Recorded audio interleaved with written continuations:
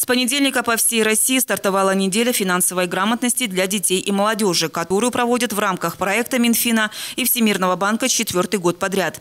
На этот раз она продлится вдвое дольше обычного – две недели. Семьям с детьми расскажут, как копить деньги, чтобы хватало и на крупные, и на повседневные покупки.